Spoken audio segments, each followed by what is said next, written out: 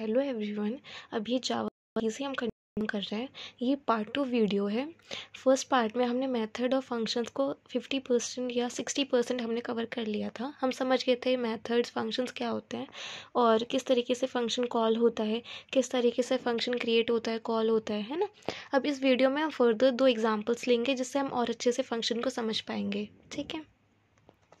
देखिए, सपोज़ कि अब मैं चाहती हूँ, देखिए, लास्ट मैंने, लास्ट में मैंने फ़ंक्शन कौन सा प्रोग्राम करा था?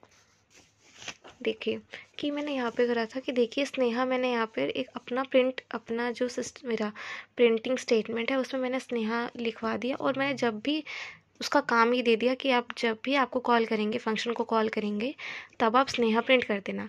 लेकिन अब मैं यहाँ पर चाहती हूँ कि अब मैं ऐसा कोई फ़ंक्शन क्रिएट करूँ जिसमें मैं नाम इनपुट में दूँ, ठीक है?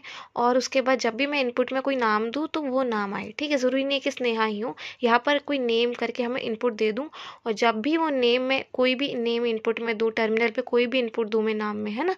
तो वो नाम ही आए। तो अब देखो उसे कैसे करते हैं। देखो, सबसे पहले मैं क्या करूँगी, बहुत सिंपल है। हमको कुछ प्रोसेस जो सब में सेम होता है, वो करना है। सबसे पहले आप फ़ंक्शन डिफ़ाइन करेंगे। फ़ंक्शन कहाँ पे डिफ़ाइन करेंगे? फ़ंक्शन आप पब्लिक क्लास मेन क्लास जो है ना, हमारी, उसमें करेंगे डिफाइन फ़ंक्शन अब यहाँ पर देखिए, मैंने एक फ़ंक्शन डिफाइन कर रखा है।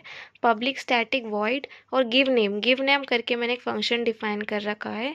अब इसके अंदर मैंने एक पैरामीटर पास किया हुआ है नेम कर ठीक है? और नेम किस टाइप का है? स्ट्रिंग टाइप का है, ठीक है? तो जब भी आप पैरामीटर पास करेंगे तो आपको उसका टाइप भी लिखना होगा सामने, ठीक है? पहले आप उसका टाइप लिखेंगे, फिर आप उस पैरामीटर को पास करेंगे। अब देखिए गिव नेम का एक फ़ंक्शन मैंने डिफाइन करा और उसका पैरामीटर पास कर दिया नेम करके और उसका टाइप है स्ट्रिंग अब देखिए, अब आते हैं हम इसके अंदर कि उस फ़ंक्शन को तो मैंने बना दिया फ़ंक्शन ये है, ठीक है? उसको काम भी बताना है, उसको काम क्या करना है? देखिए लास्ट वीडियो में हमने क्या कर दिया था? हमने उसको डायरेक्ट ये बोल दिया था कि तुम्हारा काम है बस नेहा को प्रिंट करवाना है। लेकिन अब हम ये कर रहे हैं कि हम उसमें, उसको नेम करके हम बोल देंगे कि आपको नेम को प्रिंट करवाना है, हमारे पैरामीटर को प्रिंट करवाना है।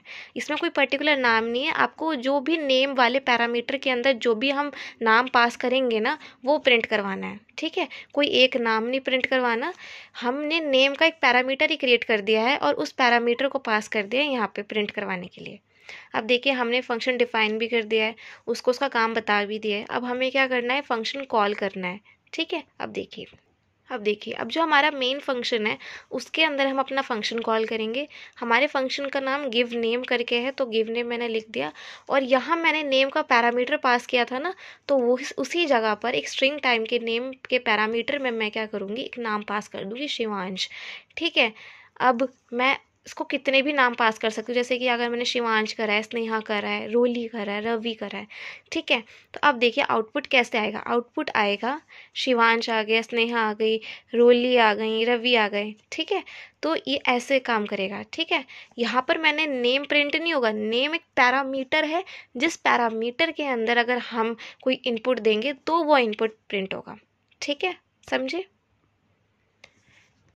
तो बेसिकली हम क्या करेंगे यहाँ पर?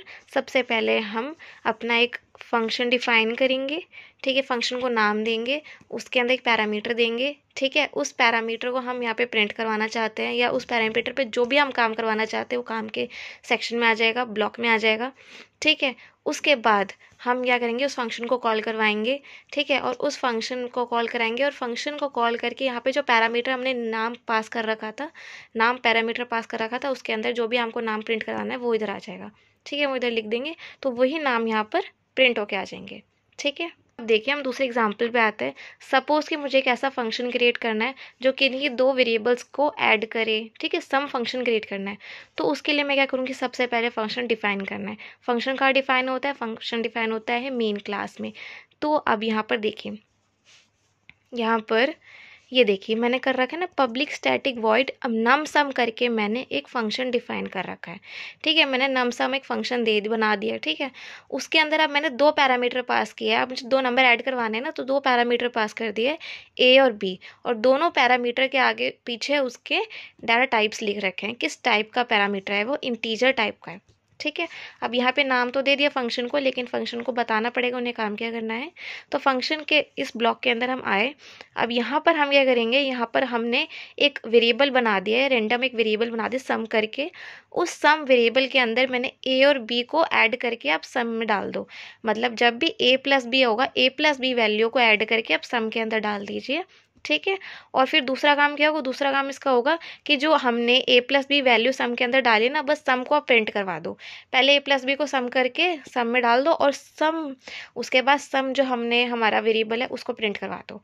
ये आपने बता दिया कि नाम बता दिया डिफाइन कर दिया, काम बता दिया।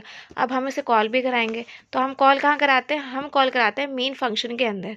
मेन फ़ंक्शन के अंदर हम क्या करेंगे? जो मेरा नम सम करके मैंने फ़ंक्शन डिफाइन किया नम सम दे रखा है ना, इसको नाम। तो वही नाम मैंने आप लिख दिया नमसम, और उसके अंदर अब यहाँ पे ए और बी दो पैरामीटर है। तो दो पैरामीटर है, दो वैल्यूज़ मुझे डालनी होंगी, ठीक है? अच्छा यहाँ पर आएगा टेन और फाइव ठीक है? और एक और चीज़, देखिए, जब हम सम वेरिएबल यहाँ पे डिफाइन कर रहे हैं ना, एक नया वेरिएबल मैंने सम बना दिया तो उसके आगे भी, अब उसमें कितनी ए प्लस बी वैल्यू डलेगी, देखिए इंटीजर ए डलेगा इंटीजर बी ए हमारा किस टाइप का इंटीजर टाइप का है नंबर टाइप का वन टू थ्री फोर है ना? बी हमारा one two three four type का है। तो जो हमारे सम पे वैल्यू जाएगी, वो भी one two three four type का जाएगी? तो यहाँ पर इंट लिखना ज़रूरी है int sum equals to A plus B ठीक है? अब आप समझ गए? अब हम, मैं क्या करूँगी? यहाँ पे जब मैं अपना फ़ंक्शन कॉल करवाया, है ना नमसा मेरा फ़ंक्शन से कॉल कराया, और टेन और फाइव में दो वैल्यू पास कर दी तो आउटपुट में क्या आएगा? फिफ्टीन आएगा। टेन प्लस फाइव फिफ्टीन यहाँ देखिए आउटपुट फिफ्टीन आएगा। ठीक है? तो आई होप आप आप समझ गए होंगे, हमारे फ़ंक्शन क्या होता है? फ़ंक्शन को किस तरीके से डिफ़ाइन किया जाता है, किस तरीके से कॉल किया जाता है, ठीक है, कैसे हम उसको प्रोग्राम में अप्लाई करें, ठीक है, कैसे हम अलग अलग प्रकार के बहुत अलग अलग डिफरेंट डिफरेंट फ़ंक्शंस हम बना सकते हैं और मैक्सिमम टाइम हम जब हम कोडिंग करेंगे, ठीक है, जब हम प्रोफेशनली कोडिंग करेंगे, अब देखो हमें काम करना है ना प्रोफेशनली काम करना है ना तो हम क्या करेंगे, हम अपने ही मैथड और अपने ही फ़ंक्शन बना रहे होंगे, ठीक है। अब नेक्स्ट वीडियो में हम एक प्रोग्राम क्रिएट करेंगे। अपने जो हमने बेसिक्स जावा हमने समझ लिया, उस पर अब नेक्स्ट वीडियो में एक प्रॉपर प्रोग्राम आएगा।